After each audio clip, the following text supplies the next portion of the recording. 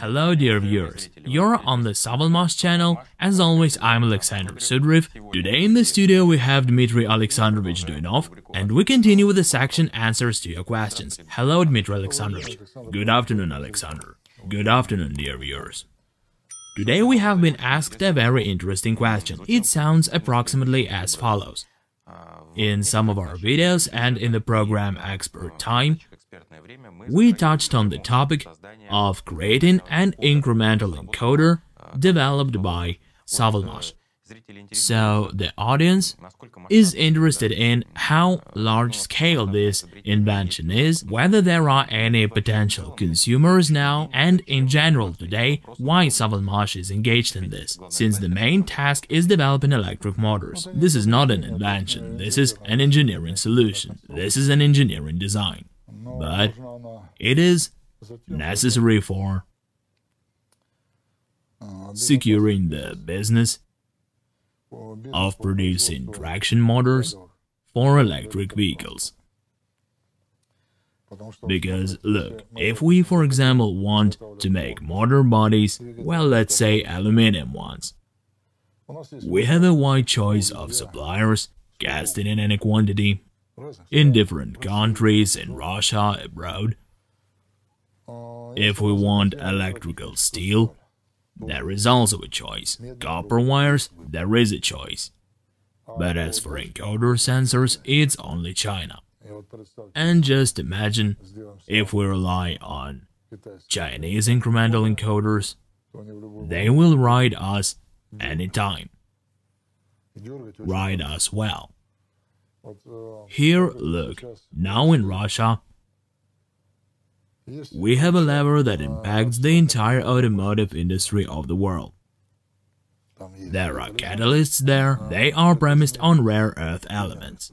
If Russia stops the supplies, everyone will be having a hard time.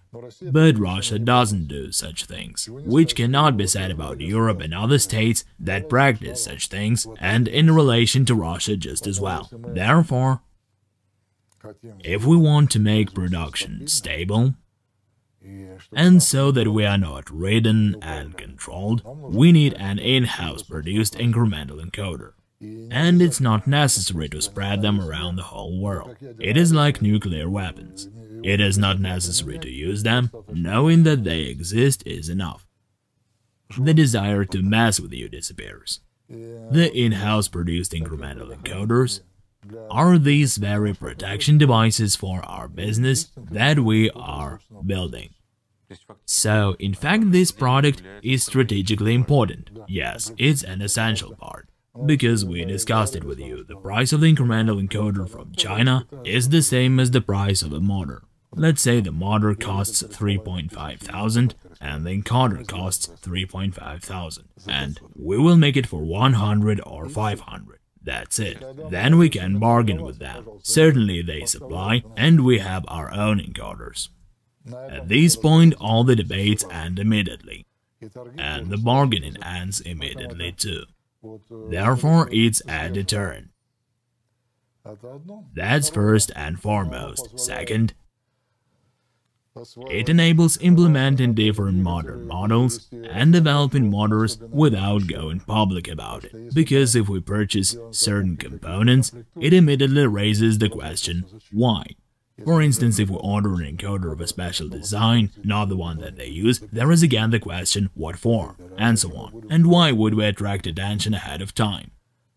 We need a specific incremental encoder for the hub motors, because the optical one we used to put on the prototypes is not very reliable.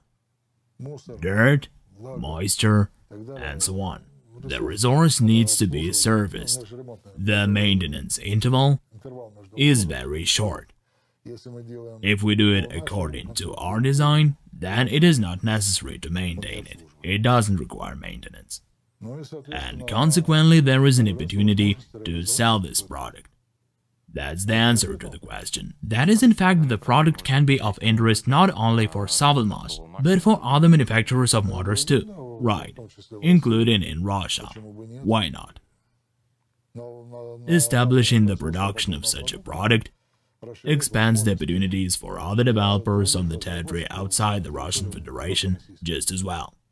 Well, I can't help but ask a question. Every time we touch on the issue of motor production and technology, we always mention the fact that the motor technology alone is not enough. We need to provide all the conditions for its production and application, implementation, yes, and other such conditions already provided or prepared for production of the encoders. To date, a plan for production of the main encoder components has been created. We can already mass produce them. I mean continuous production. Well, anyway, 30,000, 40,000 units per month is feasible now. With the equipment that our engineers have created. And this is a very serious figure. I think the answer has been as comprehensive as possible. Thank you. Until we meet again. Until we get more questions. Thank you, dear viewers. Make sure you follow the news, subscribe to our resources. It contributes significantly to promoting the project. See you again.